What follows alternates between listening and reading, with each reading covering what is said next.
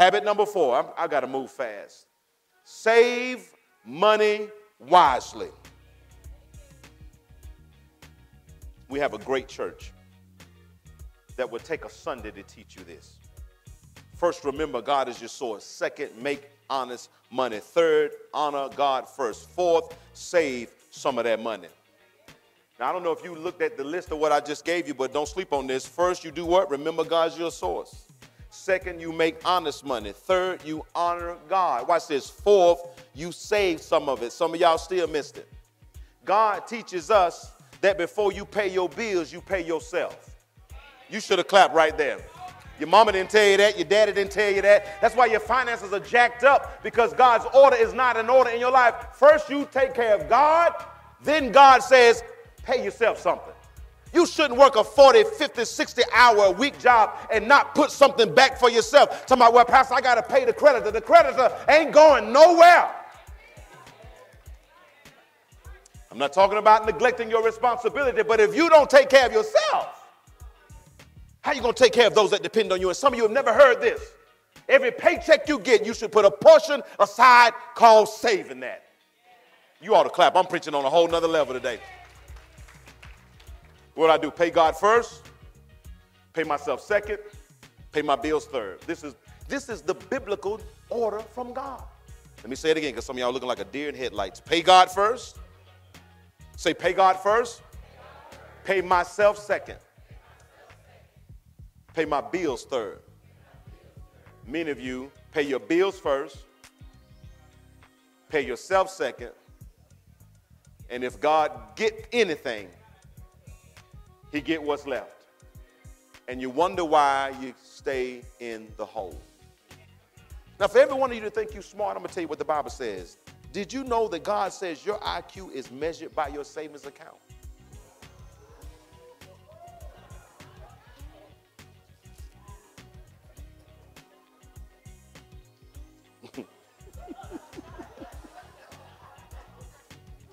That's your question. Did you know did you know that God says your IQ is measured by your savings account? Don't, don't, don't forward yet. Did you know that? 99% of the people in the world don't know that. Now, I'm going to show you it in the Bible for every one of you to think I make up stuff. Roll that beautiful beam footage. Proverbs 21 and 20 said this right here. The wise smart, intelligent people.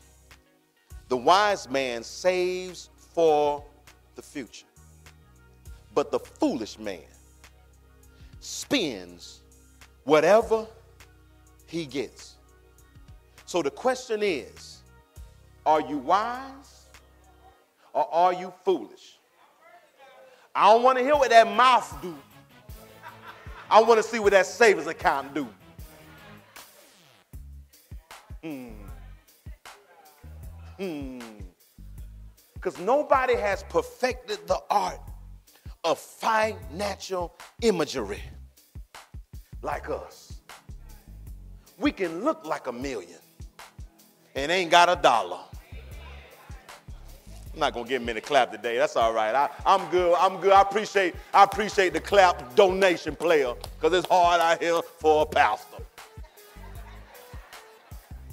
we spend more time and more energy looking like we have than doing what it takes to have and maybe looking a little rough for a season, maybe looking a little raggedy for a season, maybe driving a car that you're not proud of, but it gets you from A to B because you got a master plan and you ain't trying to spend all your money on something that impresses people, but it don't bless your life. God says, I can tell how smart you are by how much money you've saved for the future. Most people don't know this in the Bible. Wise people save for the future. Fools spend whatever they get. The average Japanese citizen saves 25%. I'm trying to help y'all, Freedom Church. The average Japanese individual saves 25% of their income.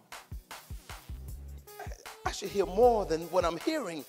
The average Japanese people save 25% of their income. And they live off of 75%. Let me ask you something about Japanese people. As a culture, are they doing all right? Don't you hate on the Japanese people? The average European saves 15% of their income. The average black person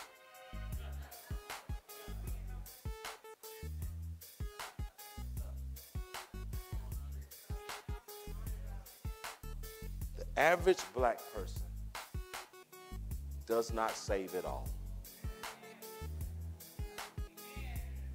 It's in the books. The average black person saves zero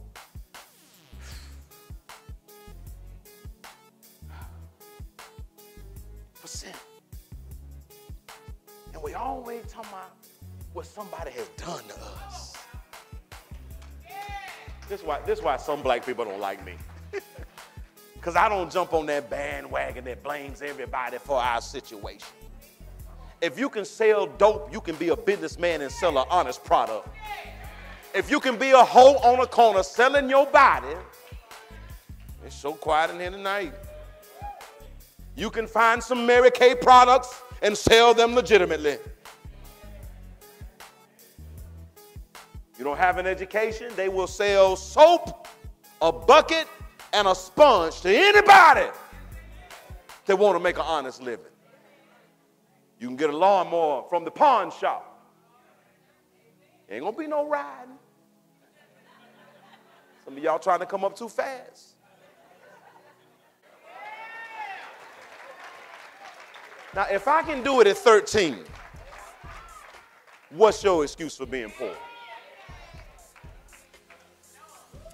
Can I go deeper? What you got to learn how to do is when you get an increase, don't raise your standard of living. Quit trying to ball out. You're going to mess around and fall out.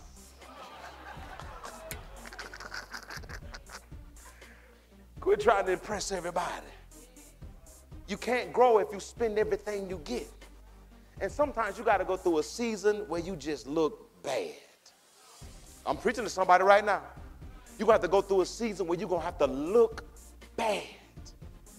Your car going to look bad. Your house going to look bad. Your clothes going to look bad. But when you got a plan, I can look bad for a season. Because when you get yourself together, then you ain't got to look bad never again. Why? Because you are understanding the habits that are causing you to go deeper and deeper in the hole. Ecclesiastes 11 and 2. I know I'm giving y'all a lot of scripture, but some of y'all need a lot of scripture. Invest what you have. Did you know God expects for every believer to be an investor? I'm preaching. I hope you I hope you're smart enough to reach up and God expects every believer to be an investor. But he don't want us to invest in one thing. God says invest in several different businesses because you don't know what disasters might happen. And what's happening, y'all don't understand, business opportunities are all around us. But you got the crab mentality and you can't see it. When you see these people in the church that can cook cakes, cook soul food, and they cook. I mean, they, they, they got an anointing to cook. Why aren't we investing in them, helping them get on their feet? See, I ain't gonna get.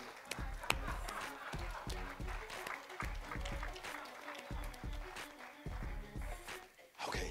If you do anything in finances, they call this multiple streams of income. But the reason I've been able to do all right in life is because I have multiple streams of income. Quieter than now. What's the multiple streams? Well, started a long time ago graphic designing for people.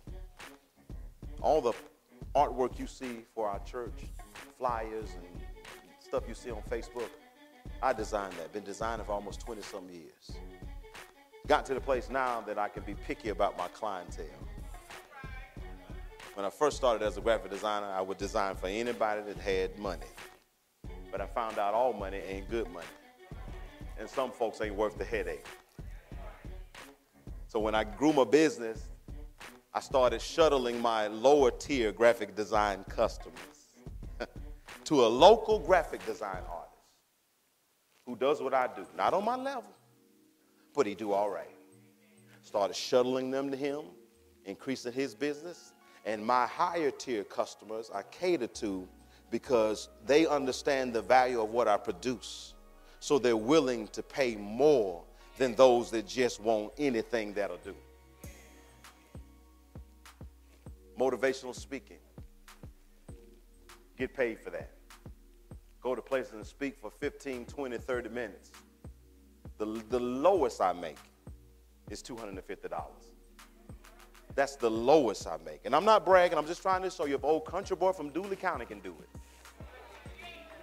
With no college degree, only in high school diploma.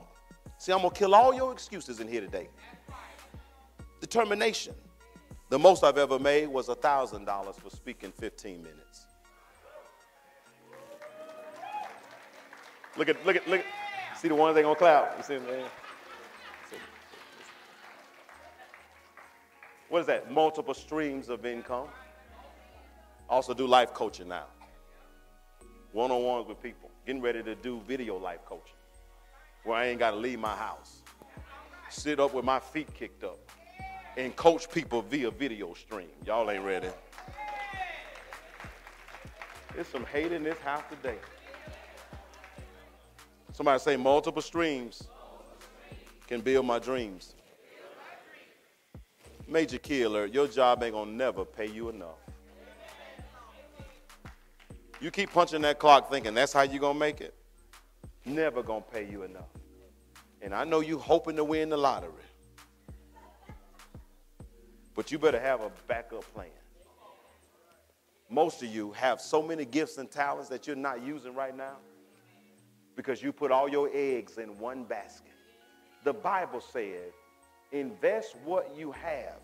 In other words, don't wait till you get more. Invest what you have in different businesses because you never know when disaster might hit. Proverbs 13 and 11, maybe you can embrace this. Money that comes easily disappears quickly. I should have heard amen somewhere. But money that is gathered little by little, it'll do what?